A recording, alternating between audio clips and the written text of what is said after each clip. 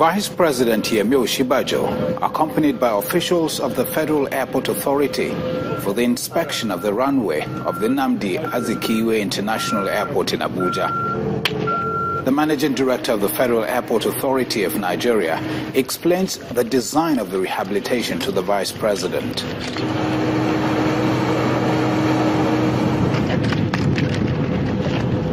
After the inspection, the Vice President assures air travelers that the rehabilitation will be completed on schedule.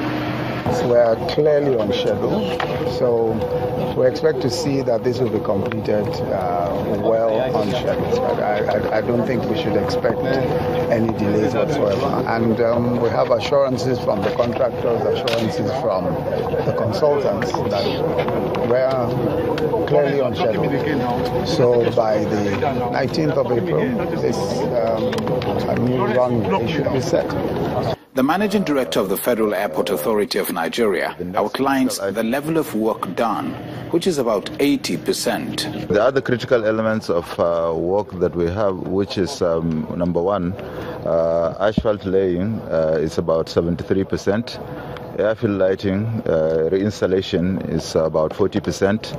Uh, uh, the next critical item is, of course, marking. Uh, which will start uh, on Monday, uh, but that one is not a critical element per se.